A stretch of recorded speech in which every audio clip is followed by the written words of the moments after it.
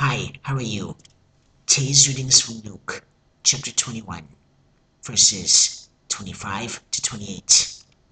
And there will be signs in the sun, in the moon, and in the stars, and on the earth distress of nations, with perplexity, the sea and the waves roaring, men's hearts filling them from fear and expectation of those things which are coming on the earth.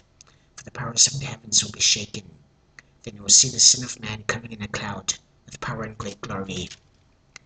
Now when these things begin to happen, look up, lift up your heads, because your redemption draws near. And Jesus said, For God so loved the world, that he gave his only begotten Son, that whosoever believes in him should not perish, but have eternal life. Jesus also said, I am the way, and the truth, and the life. No one comes to the Father but by me. Please see this prayer. Yes, for God, forgive my sins. Thank you for sending Jesus Christ down to die on the cross and for shedding his blood for me.